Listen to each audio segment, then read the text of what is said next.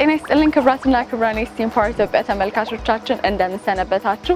ስቲም ፓወር ከዋልታ ቴሌቪዥን ጋር በመተባበር ወደ እናንተ በ15 ቀን አንድ የሚቀርብላችሁ የስቲም ፓወር ፕሮግራማችን ጀምሯል። አብራችሁ እንድትቆዩ በአክብሮት የምጋብዛችሁ ኤፍራት አስራት ነኝ። እስከ ፕሮግራማችን ፍጻሜ እንግዲህ ቆንጆ ጊዜ ቆንጆ ቆይታ እንደምታደርጉ ተስፋ አደርጋለሁ። በዛሬ ፕሮግራማችን ደግሞ ወደ እናንተ የምናቀርብላችሁ ስቲም ፓወር ከተለያዩ የፈጠራ ስራዎቻቸውን እንግዲህ ድጋፍና እንዲሁም ደግሞ ስልጠና በማድረግ እንግዲህ የተለያዩ ተማሪዎችን የፈጠራ ባለቤቶችና የፈጠራ ስራዎቻቸውን እንግዲህ አወዳድሮ ከዛ ከተወዳደሩት መካከል ደግሞ ያሸነፉትን ወደ እናንተ ወደ ውድ ተመልካቾቻችን ስራዎቻችሁን እናሳያቸዋለን ማለት ነው።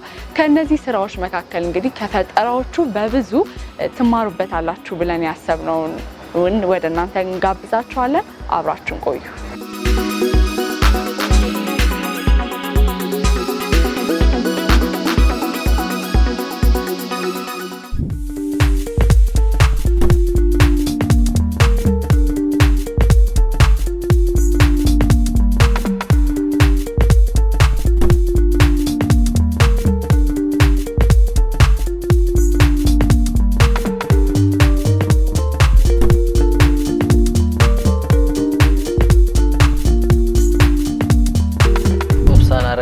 እባላለሁ። እድሜ 19 ሲሆን የምማረው በአዲስ አበባ ሳይንስና ቴክኖሎጂ ዩኒቨርሲቲ የ freshman ተማሪ ነኝ። ስቴም ፓወር ከትምህርት ሚኒስቴር ጋር በመተባበር ያዘጋጁት የዘንድሮ የፈጠራ ስራ ውድድር ላይ ያቀረብኩት ፈጠራ gold trommel ይባላል። ያው ፈጠራ ስንል ብዙ ጊዜ ያልተሰራ ነገር ማለት ሳይሆን በእኛ ሀገር በሚመጥን መልኩ trace ተደርጎ ተስተካክሎ ያዘጋጁት ነው እና ይህ gold trommel ወይም ወርቅ ማጠቢያ ይባላል። የሚያደርገውም ወርቅ ከ mining site ኦች ላይ ወይም ከማጣሪያ ቦታዎች ላይ ሲወጣ በእጅ ነው የሚታጠበው። እኛ ሀገር ሁኔታ ላይ ያንን የሚያስቀር ፈጠራ ስራ ሰርቼ ያለው ማለት ነው።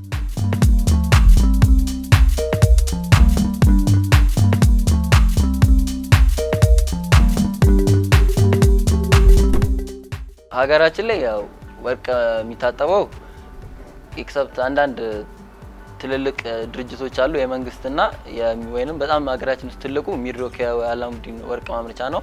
እና እነዚህ ድርጅቶች ማሽኖችን ያስመጣሉ።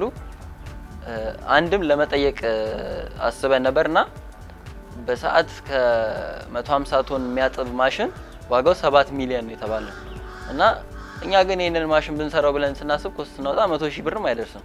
እና ለምን? እስኪ አሳንሼው አልጀምርም ብዬ ተነሳሁ። ከዛ በሰዓት እስከ አራት ሜትር ኪዩብ አፈር ወይንም እንደያፈሩ ቦታ ይለያያል እስከ 50 ቶን 60 ቶን በቀን የሚያጠብ ማሽን ሰርቻለሁ። እዚህ ላይ test ተደርጓል። ግን ወርቅ ያለበት አካባቢ ላይ እድሉን ስላላገኘን ወይም ፍቃድ ስላልሰጠን ቦታው መሄድ አልቻለም። ግን አሁን ለመሄድ process ላይ ነኝ እና ሲሞከር ውጤቱን አብረን እናየው ይሆናል። እዚህ ግን በብረታ ብረትና በአሉሚኒየም ተሞክሮ ውጤታማ ነው።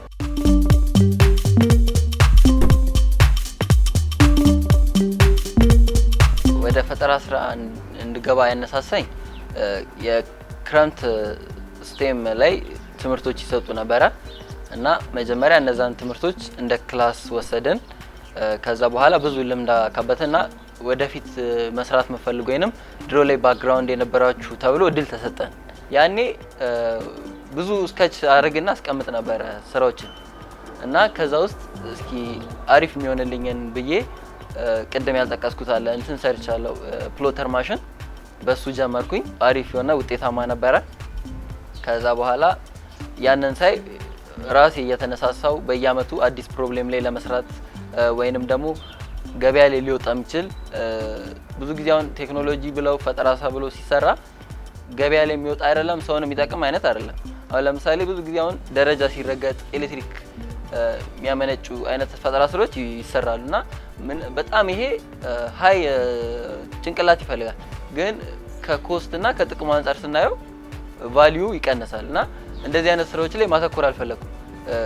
ወጪውን ቀንሰን እኛም ገቢ ማግኘት የምንችልበት እኔም ጊዜን ያወጣውበትን መልሼ የማገኝበት እንዲሁም ሌላው ሰው remote ላይ ያለው ሰው ወይንም ቴክኖሎጂውን የማያውቅ ሰው መጠቀም የሚችልበትን ስራ ነው መስራት የፈለግኩት።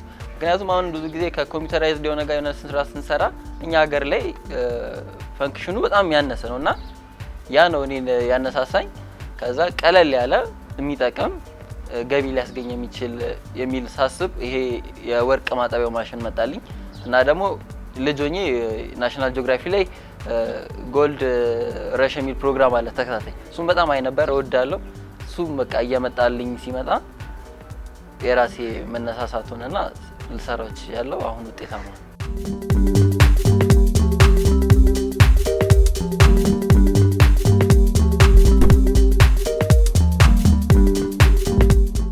ኦብሳም በባህሪው creative ነገር ነው። creativity በጣም የሚወድ ሰው ነው። ይህንን ደግሞ ከድሮ ጀምሮ ነው notice የማደርገው። የተለያዩ የፈጠራ ስራዎችን ሲሰራ ከዚህ በፊትም አዳዲስ ናሽናል ጂኦግራፊ ላይ የሚያያቸውን ነገሮች እሱ በራሱ መንገድ modify አድርጎ መስራት የሚፈልጋቸውን ነገሮች በቅርብ ይነግረኛል እና እኔ ከድሮ ጀምሮ የማውቀው ነገር ይህን ፈጠራ ስራ ወደፊት በደንብ ትልቅ አድርጌ የማሳደግ ፕላኑ አለኝ። ያንን ፕላንም ብቻዬን አይደለም ከተለያዩ ሰዎች ጋር discuss እያደረግን ነው። የራሱ የ proposal ም ጽፌለታለሁ። scale up plan አለው። አተግባበሩን ሁሉ detail የተጻፈ ነው። አሁን ያው በጀትና ፈንድ ነው የሚጠበቀው። እንዲሁም የተለያዩ ከመንግስት ጋር የሚሰሩ paper ስራዎች አሉ ለሙከራ አሁንም እሱን እያመለከትኩ ነው። ከዛ በኋላ ወደ ስራ እገባለሁ ብዬ እቅድ ይዣለሁ በዚህ አመት። ከዛ ውጭ ደግሞ እንደ group ም የጀመርናቸው ስራዎች አሉ። የአንድ ጓደኞች ያሉ ሶስት ነን። የ ERP system አይነት ለመንግስትም የግል ሴክተሮችም የሚሆን አይነት system design እያደረግን ነው። ተጀምሯል። እሱም ውጤታማ እንሆናለን የሚል ተስፋ አለን። የተለየ quality ው ሰው ማሳመን ይችላል።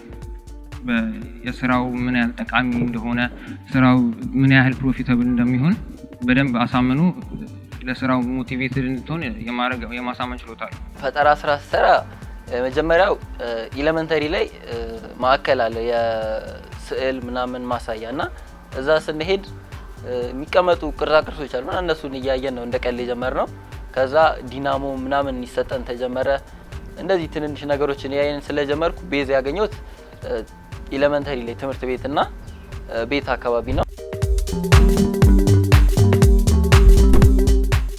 እዚህ ጋር የምናየውን የ gold trommel ወይም የወርቅ ማጠቢያ ማሽን ለመስራት የተጠቀምኩባቸው ማቴሪያሎች አብረን እናያለን። መጀመሪያ እዚህ ጋር ያለው እንደምናየው ፍሬሙ የተሰራበት RHS 40 በ40 metal ነው የተጠቀምኩት።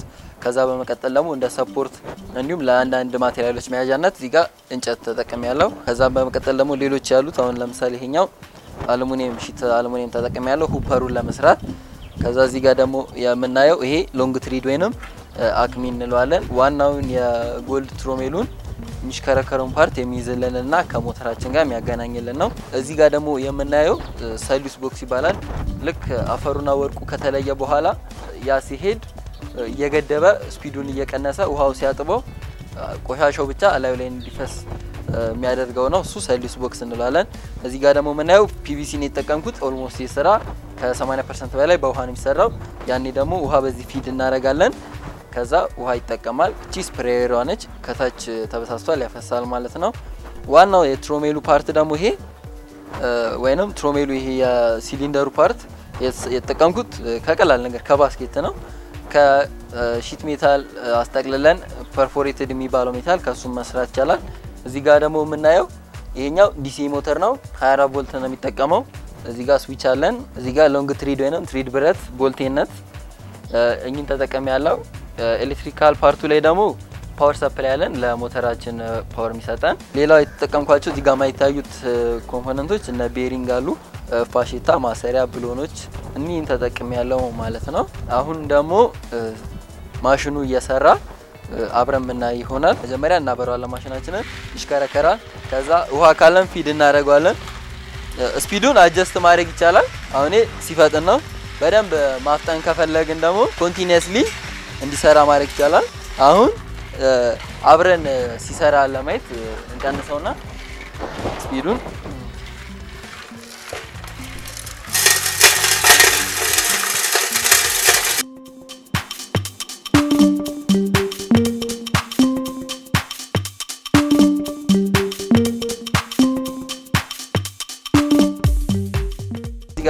ጨመርኩት አፈሩን ነው። ምንድነው የሚያደርገው? በዚህ ጋር ልክ ሲገባ አይተን ከሆነ አሁን እዚህ ጋር ትልልቅ particle እነ dust particle gravel ኦች በዚህ በኩል ይወጣሉ። ከዛ ደግሞ ደቀቅ ያለው አዋራውና ጭቃው ደግሞ በዚህ በኩል እየታጠበ ይሄዳል ማለት ነው። በዚህ በኩል feed እንሰጠዋለን። ይሄ ያሽከረክሯል። እያጠበ እያጠራ ሲሄድ አሁን እዚህ ጋር እንደምንመጣው ደግሞ እዚህ ላይ ይሄ ሰሊሱ ያግተዋል ማለት ነው። ስፒዱን ሲቀንሰው ውሃው በዚህ ላይ run በሚያደርግ ጊዜ እኚህ ቆሻሾቹን ያጥባል። dust particle ስለሆነ ውሃ በሚኖር ጊዜ ወርቁ ብቻ ነው ግራቪቲን ችሎ ወደ ታች የሚቀረው። ከዛ ያኔ ወርቁን አንስተን በትንሽ ፓን አድርገን በጣም ብዙ የምናገኝ ይሆናል ማለት ነው። ይህንን ይመስላል። ፈጠራ ስራ ላይ ለተሰማሩ ሊሆን ይችላል ወይም በጥቃቅን አነስተኛ እንዲ ትንንሽ ፕሮጀክቶችን ለሚሰሩት ማስተላለፍ የምፈልገው መልእክት ፈጠራ ስራ ስንሰራ ብዙ ጊዜ ሁሉ ነገር ላይመቻች ይችላል። እኛ የምንችለውን መጀመሪያ መሞከር አለብን። ከዛ ደግሞ ሰዎችን ማማከር፣ ሀሳቦቻችንን መግለጽ እንዲሁም የተለያዩ ውድድሮች፣ ማስታወቂያ ሲወጡ መሞከር ነው ማለት የምፈልገው። so ማመስገን በጣም የምፈልገው ቤተሰቦቼን እና elementary ትምህርት ቤት የተማርኩት አቃቂ school ነው። እዛ አሁንም ድረስ ይደግፉኛል። አንዳንድ ስራዎችን እሰራላቸዋለሁ። በደንብ ነው የሚረዱኝ። እነሱም ማመስገን ፈልጋለሁ። ከዛ በመቀጠል STEM ላይ ASTU ውስጥ ሆኖ STEM ሴንተሩ ነው እኛ ግንኙነት ያለን። ስቴሙን ማመስገን እፈልጋለሁ። አለም ሰገድ የስቴሙን አስተባባሪ፣ ውዴ፣ ሁሉንም ማመስገን እፈልጋለሁ።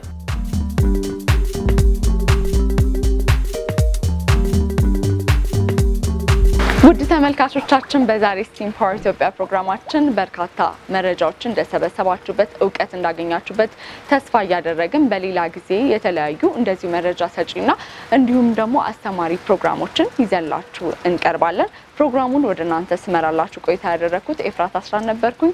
በሚቀጥለው ጊዜ እስከምንገናኝ እስከዛው መልካም ጊዜ እንዲሆንላችሁ ተመኘው። ጤና ይስጥልኝ።